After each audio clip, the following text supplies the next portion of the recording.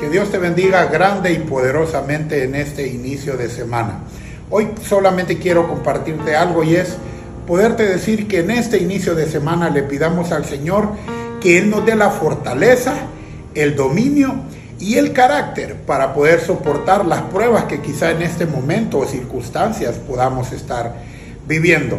También poder pedir el dominio y la sabiduría para saber tomar las decisiones correctas que son las que nos van a impulsar a alcanzar el propósito para el cual el Señor nos trajo aquí a la tierra. Porque sí, todos tenemos un propósito y todos estamos en esta tierra con un propósito. Tú no veniste a la vida de balde. Tú no veniste a esta vida a solo vivirla y dejar que pase lo que tenga que pasar. El Señor te dice hoy que Él tiene propósitos grandes para tu vida, pero es necesario que entiendas y que le entregues tu corazón y que sea Él el Salvador de tu vida. Quiero orar rápidamente con, contigo, si me permites, y que tú me acompañes en esta oración. Padre, en el nombre poderoso de Jesús. Señor, te damos gracias por un nuevo inicio de semana.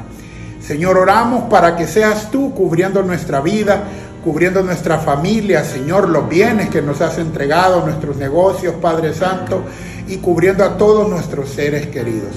Padre, hoy inicia una nueva semana, Señor, y te pedimos en el nombre poderoso de Jesús, Señor, que nos deje el dominio y la fuerza para saber tomar las decisiones correctas.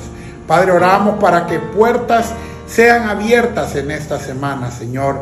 Que nuevas noticias, buenas noticias, Señor, nuevos contratos, nuevos trabajos, Señor, y las respuestas que mis hermanos están esperando para esta semana, Señor, puedan llegar en tu nombre, Padre. Sabemos que estamos, Señor, dirigidos bajo tu voluntad y tu palabra dice que tu voluntad es buena, es agradable y es perfecta. Aunque muchas veces no la podamos entender, Señor, sabemos, Padre Santo, que todos los que estamos en ti, todo lo que vivimos en ti, obra para bien.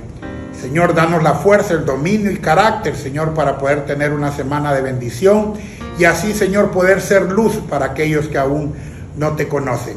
Te entregamos, Señor, todos nuestros planes y metas para esta semana, Señor, y sé tú quien tome el control.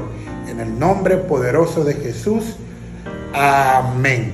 Confiemos en el Señor y pidamos esa sabiduría para saber actuar esta semana. Y confío plenamente que aquello por lo cual has estado esperando, Dios lo va a responder.